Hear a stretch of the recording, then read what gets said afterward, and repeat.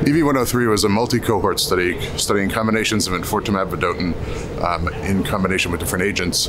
Uh, EV-103 cohort K was a randomized cohort of enfortumab and pembrolizumab in combination. Um, patients were randomized to either enfortumab monotherapy or enfortumab and pembrolizumab. Uh, the study design was to look at the 95% confidence interval around the objective response rate as opposed to um, a study design uh, powered based on uh, progression-free and overall survival.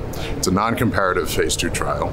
Uh, patients received enfortumab and pembro, um, enfortumab and pembro both on day one, and enfortumab alone on day eight, um, every 21 days.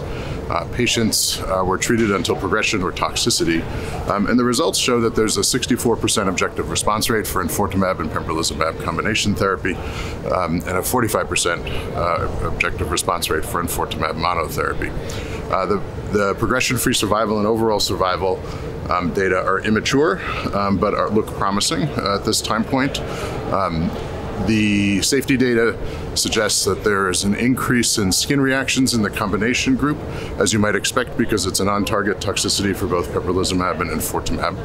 Uh, the manageability of the toxicities was uh, similar between the arms, um, although patients who received uh, combination therapy um, did have slightly higher toxicity rates.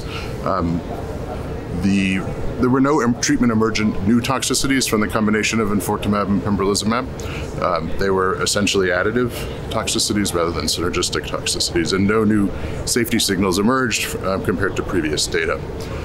These data, I think, are quite promising um, and suggest that in combination with the data from cohort A, which was recently published in JCO, um, showing a 73% response rate and an overall survival of 22.6 months in cisplatin eligible patients, uh, I'm sorry, 26.2 months in cisplatin eligible patients with metastatic urothelial cancer, that this may be a promising regimen um, for a patient population with a significant unmet need.